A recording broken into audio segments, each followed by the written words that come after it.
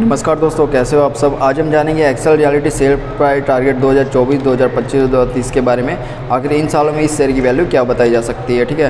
तो दोस्तों, जो रिपोर्ट हमने एक्सपर्ट के द्वारा तैयार कराई गई इसमें आपको काफ़ी सारी इंपॉर्टेंट चीज़ें मिल जाएगी। तो वैसे तो इसमें सबसे पहले कंपनी के बारे में जानकारी दी हुई जो बेसिक चीज़ें हैं, वो आप इसे बाद में डाउनलोड करके देख सकते हो। इसकी लिंक जो है मैंने डिस्क्रिप्शन में दे दी है। पर इस वीडियो में हम जो शेयर प्राइस टारगेट है, उस पर ही सिर्फ़ फोकस करेंगे। तो भाई ये अगर हमें शेयर प्राइस टारगेट वैल्यू निकालनी है तो उसके लिए हमें काफ़ी सारी इंपॉर्टेंट चीज़ों को देखना होगा। तो सबसे पहले बात आती है, पिछले पाँच सालों की शेयर की कीमत में हुए बड़े बदलाव। तो जैसा कि हम देख सकते हैं ग्यारह जून 2018 को कंपनी के शेयर की वैल्यू जो थी वो 0.60 पैसे थी, ठीक है 60 पैसे, और 12 जून 2023 को ये वैल्यू 0.40 पैसे हुई है, और 23 मई 2022 को ये वैल्यू 6.20 रुपए तक जाके आई है, और महत्तम अगर बात करें तो 13.30 तक, ठीक है।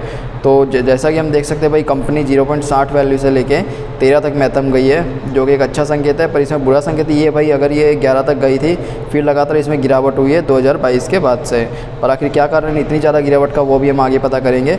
और यहाँ पर हमने एक वाइट बोर्ड को रखा हुआ है, जिसमें हम प्लस पॉइंट और माइनस पॉइंट को ऐड करेंगे। तो जैसा कि हमने देखा भाई कंपनी ने रिटर्न तो अच्छा काफ़ी अच्छा दिया है, पर यहाँ पे आके जो वैल्यू है गिर गई है। पर अभी के लिए हम इसको एक प्लस पॉइंट गिन सकते हैं, क्योंकि भाई कंपनी ने रिटर्न तो अच्छा दिया ही हुआ है। इसका क्या कारण है, वो अभी हमें आगे पता चलेगा। अगर नेक्स्ट चीज़ देखें तो इसमें दिया हुआ भाई कंपनी की फाइनेंशियल रिपोर्ट तो अब देख लेते हैं कंपनी कितना प्रॉफिट बना रही है। तो कंपनी 2019 में 11 करोड़ का प्रॉफिट 11 करोड़ का रेवेन्यू बना रही थी। नेट इनकम जो थी 0.22 करोड़ की थी। और 2023 में ये 11 से 9 हो गई है और भाई ये ज़ीरो पॉइंट बाईस से माइनस चौंतीस हो गई है। ठीक है, यहाँ पे भी माइनस, यानी भाई जो कंपनी है वो नुकसान में चल रही है, जो कि एक अच्छा संकेत नहीं है क्योंकि अभी जो है कंपनी पिछले दो सालों से लगातार नुकसान में चल रही है। फाइनेंशियल रूप से स्ट्रॉन्ग नहीं है, जो कि निवेशकों के लिए अच्छा संकेत नहीं है। अब बात आती है पिछले कुछ सालों में कंपनी की संपत्ति में हुए फेरफार। तो कंपनी की संपत्ति में होता है भाई जैसे कंपनी के एसेट्स हो गए, जैसे कारखाने ऑफ़िस वगैरह, ठीक है? तो उनको कंपनी बढ़ा रही है, घटा रही है।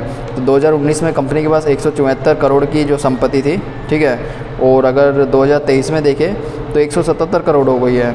तो भाई इसमें कुछ ज़्यादा कोई डिफरेंस देखने नहीं मिल रहा है। सिर्फ़ लगभग तीन चार करोड़ का ही डिफरेंस आया है। वो तो भाई जो कंपनी की संपत्ति ऑटोमेटिक भी इतनी बढ़ जाती है, ठीक है, समय के साथ। तो ये भी एक अच्छा संकेत नहीं है, क्योंकि जो कंपनी की जो संपत्ति है, वो लगातार नहीं बढ़ रही है। और नहीं बढ़ रही है तो इससे जो कंपनी के रेवेन्यू है, वो भी अच्छा नहीं बन पाएगा। जो रेवेन्यू सोर्स है, वो भी लगातार कम हो रहे हैं। तो ये भी भाई एक अच्छा संकेत हमें नहीं मिला। अभी नेक्स्ट चीज़ देखते हैं नेक्स्ट चीज़ इसमें क्या है। नेक्स्ट चीज़ आती है अपनी कंपनी के द्वारा दिया गया डिविडेंड तो अगर कंपनी भाई अच्छा प्रॉफिट नहीं बना रही है कंपनी की संपत्ति भी नहीं बढ़ रही है तो प्रोफ ये जो है डिविडेंड कैसे देगी कंपनी इसी कारण से कंपनी ने अभी तक कोई भी, किसी भी तरह का डिविडेंड नहीं दिया गया आगे जो नेक्स्ट चीज़ है, वो काफ़ी इंपॉर्टेंट मानी जाती है शेयर होल्डिंग पैटर्न इससे हमें पता चलेगा कि इस कंपनी में कौन कौन से इन्वेस्टर के द्वारा शेयर होल्डिंग की गई है। तो देखिए, वो भी देख लेते हैं। सबसे पहले आता है टोटल प्रमोटर होल्डिंग यानी भाई जो कंपनी के पास शेयर रहे हुए, वो है उन्नीस पॉइंट निन्यानवे परसेंट, यानी लगभग 20 परसेंट कंपनी के पास अभी तक शेयर रहे हुए खुद के। ठीक है म्यूचुअल फंड के द्वारा किसी भी प्रकार की होल्डिंग नहीं की गई, ये अच्छा संकेत नहीं है। अदर डोमेस्टिक इंस्टीट्यूशन भाई इसके इसमें भी जो भारतीय बड़े इन्वेस्टर उनका समावेश होता है। इनके द्वारा भी किसी भी तरह का निवेश नहीं किया गया, जो भी ये अच्छा संकेत नहीं है। फॉरेन इंस्टीट्यूशन जो विदेशी इन्वेस्टर उनके द्वारा भी 0.06 परसेंट की होल्डिंग की गई है। जो भी लगातार कम होती हुई देखी जा सकती है। ठीक है, ये भी ना के बराबर है, इसलिए ये भी एक अच्छा संकेत नहीं है। और भाई, यहाँ पे रिटेल इन्वेस्टर जो है 79 परसेंट है, जो कि एक काफ़ी खतरा गिना जा सकता है। क्योंकि जैसा कि हम जानते हैं रिटेल इन्वेस्टर जितनी ज़्यादा मात्रा में होते हैं, ठीक है, उतना हमें अच्छा संकेत नहीं माना जाता है। इसका क्या कारण है, वो यहाँ पे हमने दिया हुआ है। आप आराम से इसे डाउनलोड करके रीड कर सकते हो। इसके अलावा हमने इसमें टॉप कंपटीटर्स दिए हुए हैं। फ्यूचर का जो है स्कोप इन फ्यूचर फ्यूचर में भाई कंपनी का क्या स्कोप देखा जा रहा है हमारी व्यू से, वो बताया गया है। अब मेन बात आती है भाई कंपनी की शेयर की टारगेट वैल्यू तो भाई जो ये टारगेट वैल्यू है एक्सपर्ट के द्वारा एक बताई गई अंदाजित वैल्यू ऐसा नहीं है कि हम आपको कोई सजेशन दे रहे भाई ये स्टॉक को ख़रीद लो, या इतनी वैल्यू चली जाएगी या इतनी कम हो जाएगी, ठीक है?